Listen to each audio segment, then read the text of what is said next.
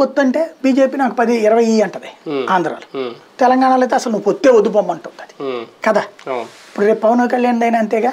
ఇప్పుడు సీఎంగా ఒక ఏడాది ఇచ్చారనుకోండి నెక్స్ట్ ఇప్పుడు రెండేళ్ళు కావాలంటారు. అంతే మరి. ఉమ్, అంటే ఇక శాశ్వతంగా సంకీర్ణానికి సిద్ధపడాలి. అందులో రెండు ప్రాంతీయ పార్టీలు.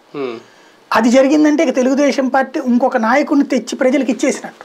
అంటే మరి బలం తగ్గుతున్నప్పుడు ఏం చేయాలి మరి? అధికారంలో ఒకసారి ఓడితే నష్టం లేదు. ఏం రెండు వేల నాలుగు నుంచి ఓడిపోతే రెండు వేల పద్నాలుగు అధికారంలోకి రాలేదా? అంటే ఇప్పుడు ఓడిపోతే మళ్ళీ శాశ్వతంగా మళ్ళీ గెలాలి ఏమో భయం అనవసర ప్రచారం ఊహలు.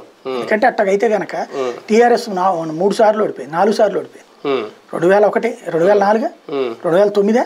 రెండు వేల పద్నాలుగు రెండు వేల పద్నాలుగు అధికారంలో. అలా అనుకుంటే మరి కాంగ్రెస్ ఒక దొక్కు తొక్కిన అది లేకపోతుంది. ఎందుకు జాతీయ స్థాయిలో మొన్ననేగా ఆంధ్రాలో. ఐదేళ్ళే కదా. మళ్ళీ రావచ్చు తర్వాత కనీసం డిపాజిట్లు కూడా తప్పి దక్కించుకోలేదు కదా. ఒక్క ఐదేళ్ళకే కదా. వీళ్ళకి కూడా ఐదేళ్ళకి దెబ్బతిన్నారు టీడీపీ. కానీ తర్వాత గెలిచారు కదా. ఉమ్. పదేళ్ళ తర్వాత గెలిచారు కదా అధికారంలోకి. కాంగ్రెస్ అయినా అంతే చెప్పలేము. ఇప్పుడు శాంతం అయిపోయింది అనుకున్న మధ్యప్రదేశ్లో కాంగ్రెస్ గెలవాలా పదిహేను సంవత్సరాల తర్వాత. శాంతం అయిపోయింది అని గుజరాత్లో కిందసారి ఎనభై సీట్లు సాధించాలా. శాంతం అయిపోయింది పదిహేను ఏళ్ళ పాటు లేని ఛత్తీస్గఢ్లో మళ్ళీ గెలవాలా.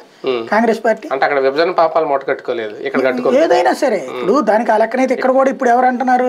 విభజన గురించి. ఇప్పుడు విభజన గురించి ఇక్కడ ఎవరు అంటున్నారు? ఇప్పుడు ఆ లెక్కన ఛత్తీస్గఢ్. విభజనది అక్కడ కూడా.